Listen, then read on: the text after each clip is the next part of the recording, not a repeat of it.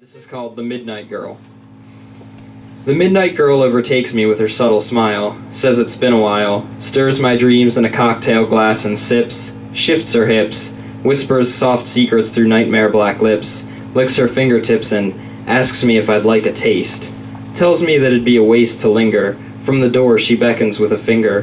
Her image slithers through my thoughts, wraps itself around my eyes, and I follow, smiling as if I had a choice.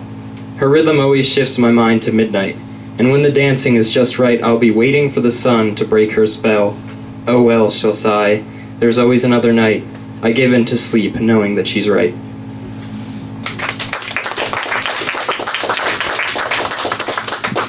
This one's one that could only be misinterpreted as erotica. I think you'll catch the line. it's called The Gardener. One defiant lock of hair slips back in front of her eye as beaded sweat rolls down her cheek, glistens on her forehead. Dirty fingernails part soil under squinted eyes and overbit lip. She inhabits concentration like a bomb squad technician.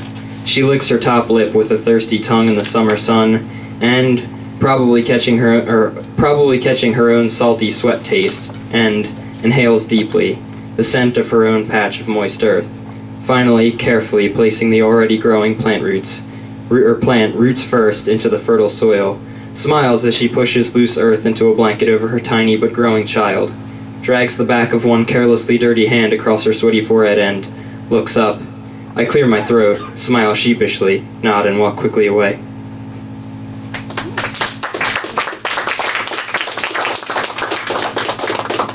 And now a love poem. Okay. Okay,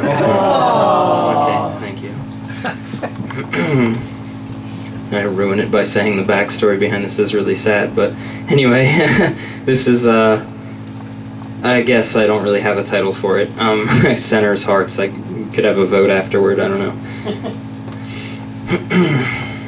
my heart surrounds the pull of emotions. My room encircles my bed, encircles our bodies, encircles our hearts beating in close proximity.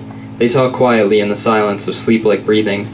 A fence encircles the yard, encircles the house, encircles this room. Stillness is stretched out into the night. Small stirrings, the vibration of the breath of a sleeping world. The block encircles the house. The town encircles the block. The world encircles the town. Sprawling darkness we might call tonight encircles the stars, centers defining circles. My mind surrounds the memories of that night, when the universe itself may have slept in enormously silent apathy, and everything spread out from the center, our two warm and beating hearts.